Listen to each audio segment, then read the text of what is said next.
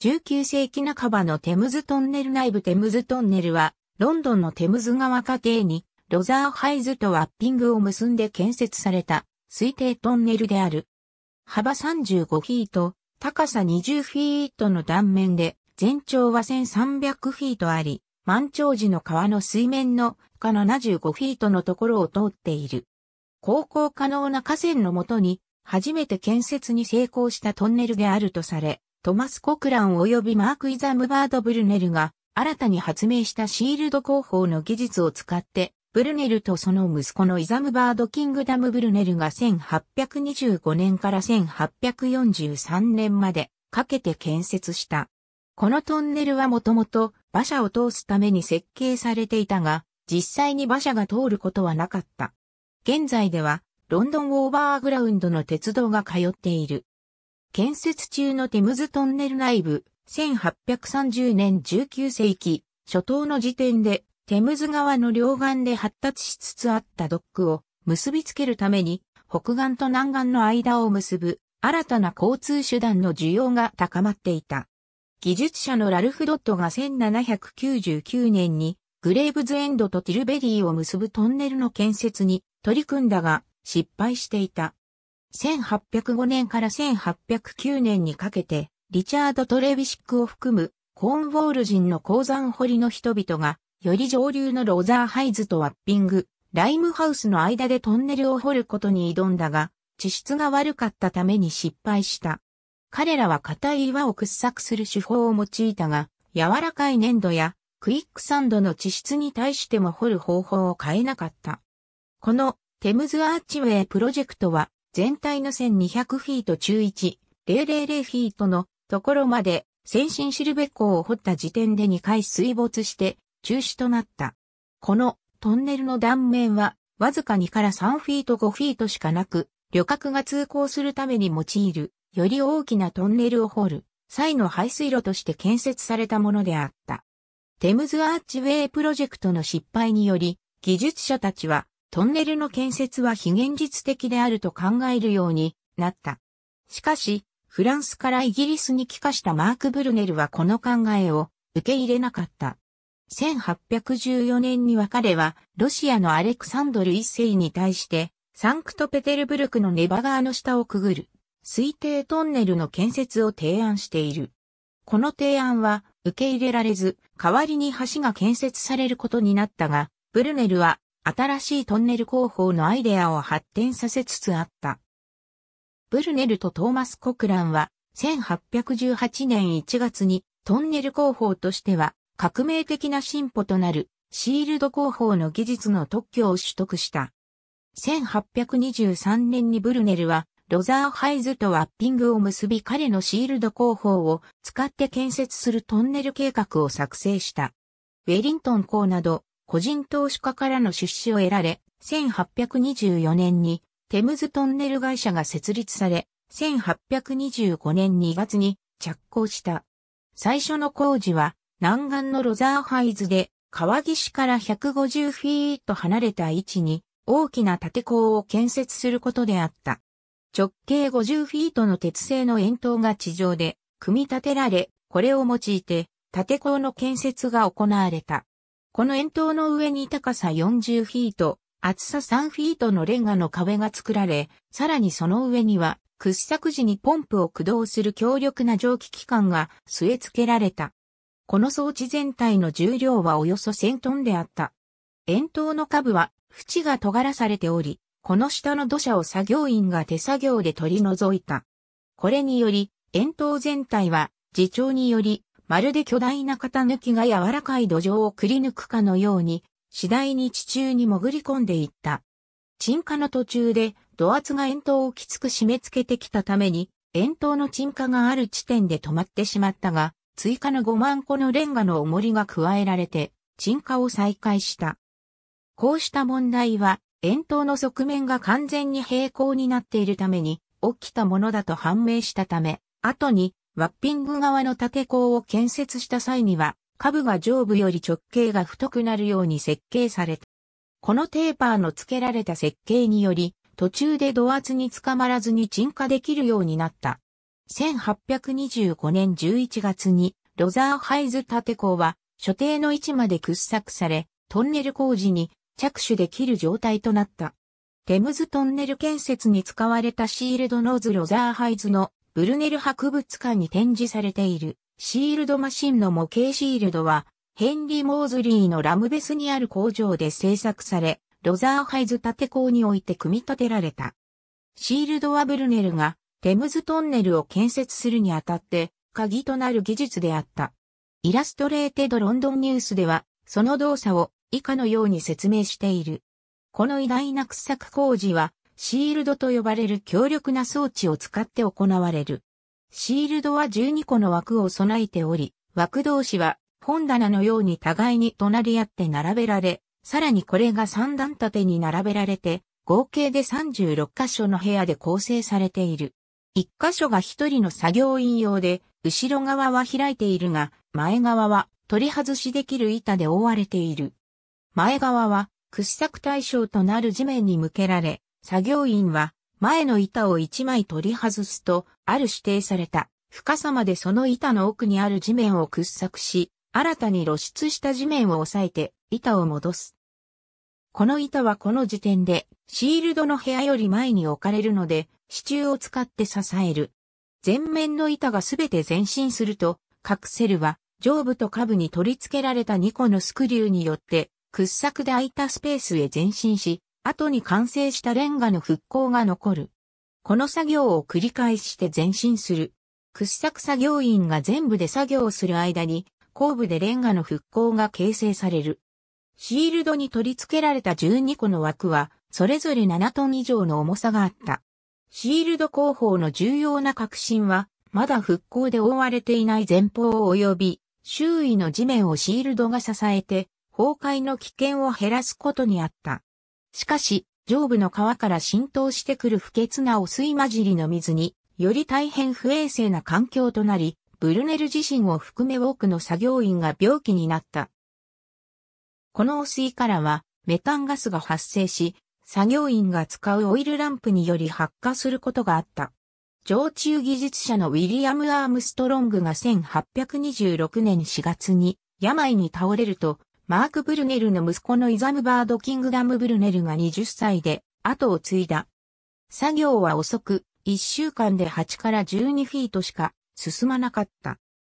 トンネルからいくらかでも収入を得るために会社の重役は作業中のシールドを観光客が見学するのを許可した。この見学で一人一シリングを徴収し、1日およそ600から800人が見学した。掘削は危険に満ちたものであった。549フィートまで掘削された1827年5月18日にトンネルは突然水が溢れ出した。ブルネルは潜水晶をボートから下ろして川の底に開いた穴を埋めようと試み、トンネルの天井に通じる裂け目に粘土入りのバッグを詰め込んだ。この修復を終え、トンネルの排水が完了すると、ブルネルはトンネル内で晩餐を開いた。1828年翌年の1828年1月12日にトンネルは再び水が溢れ、6人が死亡した。ブルネルはこの事故ではかなりの幸運で生き残った。死亡した6人は、非常用の脱出口が閉鎖中であることを知っていたため、大きな吹き抜け階段のところまで逃げようとした。ブルネルはそうせずに閉鎖中の非常用脱出口に逃げ、そこで大きな音を立てた。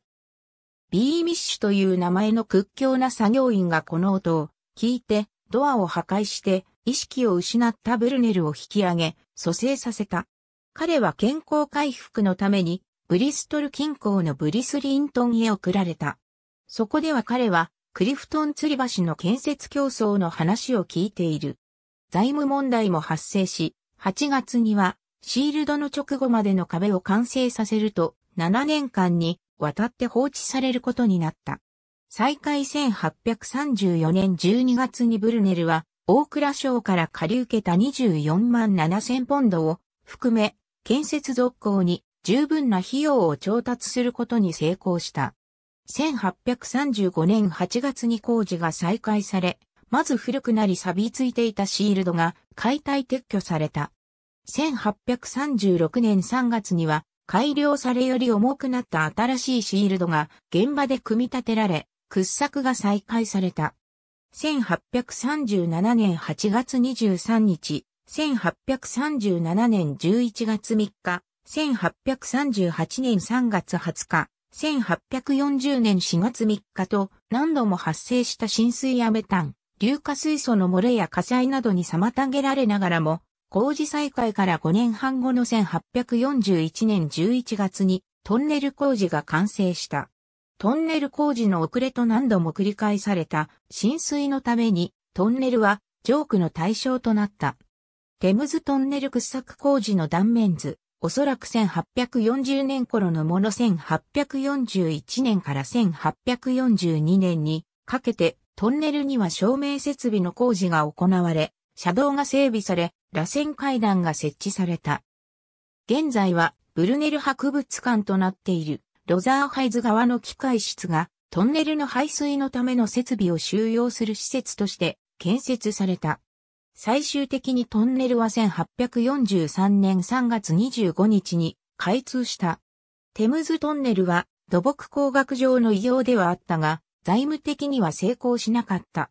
トンネルは当初の費用見積もりを大幅に上回り、掘削のために45万4千ポンド、その他の設備を設置するために18万ポンドを要した。車両がトンネルに入れるように入り口を拡張する提案もあったが、費用問題のために見送られ、歩行者のみこのトンネルを使用した。トンネルは観光客を集めるようになり、通り抜けるのに一人一ペニーを徴収したが、年に約200万人の人々が訪れるようになった。そして人気のある歌のテーマにもなった。アメリカの旅行者のウィリアム・アレンドルーは、ロンドンに行った者は誰もがトンネルへ行くとコメントし、また、世界8番目の不思議であると表現した。彼自身が1851年にこのトンネルを見た時、いくらかがっかりしたと表明しているものの、しかしその内部を交通の動脈として、より地下の商店街であるかのように生き生きとした描写を行っている。テムズトンネルの入り口建港通りと川を隔てる、ワッピングの南ブロックもの建物の中に、大理石で作られた八角形の建物がある。いくつもある大きなドアの一つから中へ入り、直径50フィートの円形の広間に出る。床は青と白の大理石のモザイクで敷き詰められている。壁は飾り漆喰が塗られており、その周りには新聞、パンフレット、書籍、菓子、ビールなどを販売するスタンドが置かれている。見張り等の類が川の隣、円形広間に隣接して置かれており、そこに太った料金徴収人がいる。彼の前に真鍮製のターンスタイルがあり、徴収人に1ペニーを払うことでそこを通り抜けることができる。ドアを入ると大理石で作られた長い階段を使って縦子を降り始め、広い踊り場に出て、さらに反対側の向きに下る次の階段へと降りていく。縦鋼の壁は円形になっており、飾り漆喰で仕上げられ、絵画や珍しい品が吊り下げられている。最初の踊り場には巨大なオルガンが置かれており、素晴らしい音楽を演奏していて、しばらく立ち止まってその響きに耳を傾ける。さらに、下へ下り始めて、次の大理石で作られた踊り場に達し、そこで休む負けを引くような珍しい品物がそこにも置かれている。そしてさらに下へ、80フィートの縦鋼の底へ降りていく。その間の壁は絵画や像などが散りばめられている。そこに到達すると、通りから入った時の円形広間に対応する丸い大理石の床を備えた直径50フィートの部屋となっている。壁沿いにはくぼみがいくつも設けられており、エジプトの高齢術師や占い師、踊る芸を仕込まれた猿など、様々な種類の芸が行われており、小銭を稼ごうとしている。部屋はガス灯で照らされており、光り輝いている。ここで自分の前にあるテムズトンネルに見入る。トンネルは2個の美しいアーチからなっており、川の対岸まで続いている。アーチはそれぞれ14フィート幅で24フィートの高さの道路となっており、3フィート幅の歩行者用の通路も用意されている。トンネルはよく換気されているようで、湿ってもこもった感じでもない。アーチを区切る壁はトンネル全長にわたって通じており、一方から他方に通じるアーチが設けられている。全部で50ほど横穴アーチがあり、豪華な雰囲気の雑貨売り場が設けられている。磨き上げられた大理石のカウンターにタペストリーで覆われた棚、そしてすべてを2倍に見せかける鏡である。ドレスを着飾った売り子の女性が微笑みかけながら、テムズトンネルの思い出となる品を何か買って帰るまでは、通さないといった風情で待ち構えている。アーチはガス灯で太陽ほどの明るさに照らし出され、トンネルの構造を眺め、雑貨やおもちゃなどを眺める男性、女性、子供たちで常に通路は混雑している。何か買わずには通り抜けられない感じであり、ほとんどの商品にはテムズトンネルにて購入、テムズトンネルからの贈り物といったラベルが貼られている。ドルーはおそらくトンネルについて寛大な見方をしているが、やがてトンネルは、娼婦やアーチに潜んで通過する人を襲うトンネル盗賊といった人たちのたまり場とみなされるようになっていった。アメリカの作家、ナサニエル・ホーソーンは、ドルーの数年後に訪れた際のトンネルについてかなり否定的な見方を1855年の本で書いている。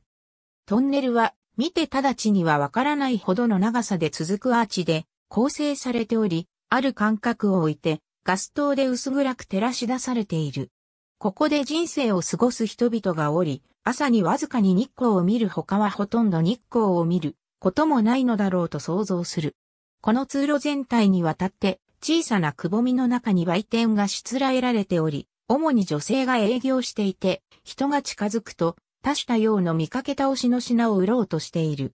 ともあれ、現在のトンネルの使われ方から見るに、トンネルは完全な失敗である。ワッピングにおいて、テムズトンネルから列車が出てくる様子。1870年トンネルの内部、2010年トンネル建設に投資した人にとって明らかに救済となったのが、1865年9月にトンネルがイーストロンドン鉄道に買収されたことであった。この会社はワッピングとサウスロンドン線の間で旅客と貨物を輸送する鉄道連絡を行うためにこのトンネルを使おうと考えた6つの本線鉄道会社のコンソーシアムであった。当初の設計では馬車を通すために考えられていたことから用意されていた余裕のあるトンネル断面の高さは鉄道の車両を通すためにも十分な車両限界を実現できた。トンネルを通る最初の列車は1869年12月7日に運転された。1884年には北岸の使われなくなった建設用建港がワッピング駅となった。イーストロンドン鉄道は後にロンドンオーバーグラウンドに吸収され、そのイーストロンドン線となった。1962年までは貨物輸送を行っていた。地下鉄として運行されていた当時、イーストロンドン線とジュビリー線延長区間の間でカナダワオター駅で交差を建設することが計画された。このためには、イーストロンドン線を一時休止することが必要であったため、この機会にトンネルの長期補修を行うことになった。1995年にイーストロンドン線は建設、補修工事のために休止となった。提案されたトンネル補修工法は、漏水を防ぐために吹き付けコンクリートを実施するもので、これにより当初のトンネルの外観を完全に損なうことから、できるだけ作業を安価に素早く完了させたい当局と、トンネルの外観を保存することを望む、建築物に関心のある人たちの間で、厳しい議論を巻き起こした。ロンドン地下鉄が長期補修を開始する予定としていた1995年3月24日に、トンネルが第2級登録建造物に記載されたことで保存を望む人たちが勝利を収めた。トンネルの一端のタンク間は補修工事を行わないままとし、また残りの区間についてもより配慮した補修工事を行うことで合意がなされ、補修工事は実施されて、当初予定していたよりもかなり遅れて1998年に使用が再開された。イーストロンドン線延長工事のために2007年12月23日から再度運転が休止され、線路の敷設作業と信号の改良作業が行われた。この延長工事によりトンネルはロンドンオーバーグラウンドの一部となった。2010年4月27日に運転が再開された。後は再び本線の列車が走るようになっている。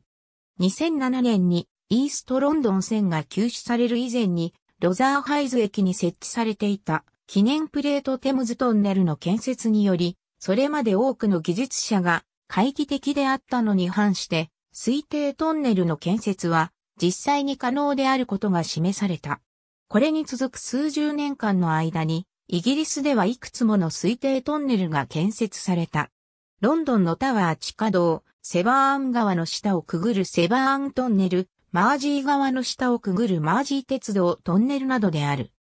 またブルネルが開発したシールド工法は後に、さらに改良され、ジェームズ・グレートヘッドが技術の発展に重要な役割を果たした。テムズトンネルの歴史的な重要性が考慮され、1995年3月24日に第2級登録建造物に登録された。一時的に休止される前は、ロザーハイズ駅のプラットフォームへ下る階段の上に、記念のプレートが取り付けられていた。このプレートは作業中安全のために取り外されていたが、トンネルの壁に再度取り付けられており、駅の旅客用階段から見ることができる。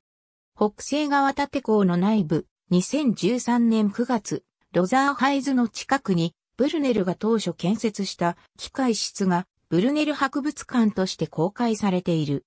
もともとトンネルの排水ポンプを収容するために作られたもので、現在は修復されている。イーストロンドン線が2007年に大規模、改修工事のために休止となるまでは、博物館はトンネルを列車で通り抜けるツアーを実施していた。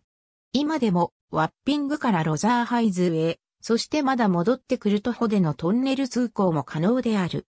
しかし、これは、路線が補修工事のために閉鎖されている時にのみ可能であるため、時折しか機会がなくしかも場当たり的である。1860年代に列車の運行が開始された時、縦港は換気のために使用されていた。階段は火災の危険性を減らすために撤去されていた。2011年に路線改良工事のために閉鎖されていた間にコンクリート製の基礎が縦港の底付近、線路よりは上に構築された。このスペースは蒸気機関車から吐き出された黒煙で壁が黒ずんでいるが現在は狭い入り口と足場を通り抜けることで入れるようになっており、コンサートの会場として使われている。また建港の頂上付近には屋上庭園とバーが建設されている。ありがとうございます。